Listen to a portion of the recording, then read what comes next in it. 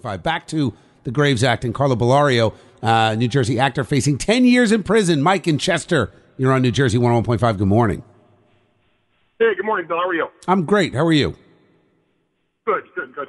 Yeah, I just I just happened to turn the radio on and I caught you guys talking about the Graves Act. Yeah. Um, and it's, you know, my comment is more of like a broad generalization to the whole, you know, the whole topic. Uh, you know, in in itself is, you know, where when did this country become so off track with common sense?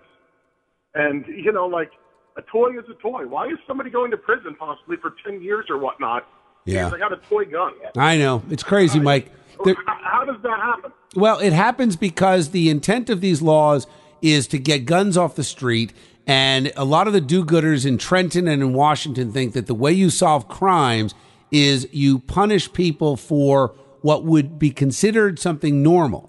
And the intent, I understand, with the Graves Act is to give that added ability of law enforcement to keep gang members locked up in prison. I get it. The question is, why do you list a toy in the list of firearms? And, and to your point, Mike, you're exactly right. That's where the problem is. And that doesn't make sense to the average person. Look, I'm not a lawyer, but even I know that an airsoft gun that shoots little rubber pellets is not a firearm. And the idea that New Jersey law thinks it is makes New Jersey law crazy. That's not, that's not the rest of us. Yeah. It's the law. Mike, I appreciate. not to mention, do you, What? not to mention, do you, do you guys realize? And I was just reading about this not too long ago.